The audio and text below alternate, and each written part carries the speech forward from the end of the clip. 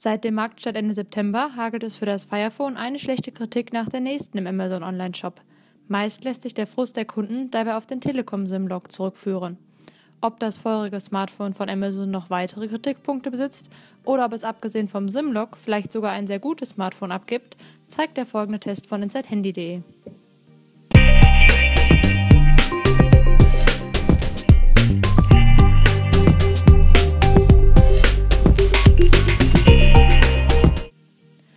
Bereits beim ersten Kontakt mit dem Firephone von Amazon fällt eine Sache besonders auf: das Gewicht.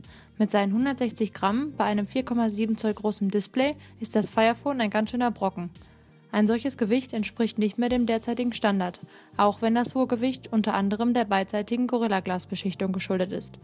Zudem ist es mit einer Tiefe von 8,9 mm nicht sonderlich flach, was den klobigen Gesamteindruck bestärkt es stellt sich zudem auch die Frage, ob man als Kunde, nachdem man rund 450 Euro für das Firephone auf den Tisch gelegt hat, ständig Werbung für Amazon machen möchte. Denn auf der Rückseite pringt ein dickes Amazon-Logo, das nicht zu übersehen ist. Dass es sich bei dem Firephone um ein Amazon-Smartphone handelt, ist nicht nur äußerlich an dem großen Logo auf der Rückseite, sondern auch anhand der Benutzeroberfläche deutlich spürbar. Das auf Android basierende Fire OS besitzt nur noch marginale Gemeinsamkeiten mit dem originalen Google-Betriebssystem. Einen klassischen Homescreen, wie man ihn von Android-Geräten gewöhnt ist, gibt es beim Firephone nicht. Der Homescreen besteht aus einer fixen Statusleiste mit der Telefon-, Nachrichten-, E-Mail- und Internet-App und darüber ist ein App-Karussell zu finden. Die Anwendungen innerhalb des Karussells kommen in einer beweglichen 3D-Optik daher. Denn als erster Smartphone-Hersteller integriert Amazon vier Infrarotsensoren, das sogenannte Dynamic Perspective Sensorsystem. Die Sensoren sind in den vier Ecken auf der Vorderseite untergebracht. Mithilfe der Sensoren erkennt das Firephone somit, in welchem Abstand und Winkel sich der Kopf vor dem Smartphone befindet und zeigt Objekte auf dem Display so an, dass diese dreidimensional wirken. Das Display selbst misst 4,7 Zoll und besitzt eine HD-Auflösung, mit der man durchaus zufrieden sein kann. Neu ist auch, dass man nicht nur mit einem Wisch die seitliche Menüleisten öffnen kann, sondern auch mit einem seitlichen Schwenk des Firephones. Eine ähnliche Steuerung ist zum Beispiel auch beim Scrollen und Surfen im Internet möglich. Beim Prozessor und Arbeitsspeicher ist das Firephone sehr solide aufgestellt. Angefeuert wird es von einem Snapdragon 800 Quad-Core-Prozessor, dessen vier Kerne auf 2,2 GHz takten. Der Arbeitsspeicher ist 2 GB groß. Beim internen Speicher hat der Nutzer die Wahl zwischen zwei Varianten mit einem 32 oder 64 GB großen Speicher, die sich preislich um stolze 100 Euro unterscheiden.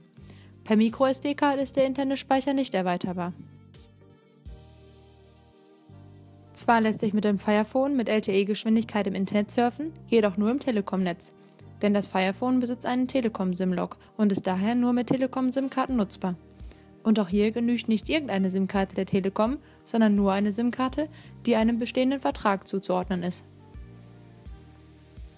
Die rückseitige Kamera des Firephone löst mit 13 Megapixeln auf und liefert nicht nur Full-HD-Videos, sondern auch eine optische Bildstabilisierung. Die Qualität der Fotos kann sich sehen lassen, sowohl in Innenräumen bei eher schlechten Lichtverhältnissen als auch in der Abenddämmerung und bei leichtem Nebel liefert die Kamera ein scharfes und kontrastreiches Bild. Die meisten Bilder besitzen einen satten Farbton, der aber auch nicht zu unnatürlich wirkt. Auch der Dynamikbereich liegt auf einem sehr guten Niveau Sowohl helle als auch dunkle Bildbereiche sind gut zu erkennen.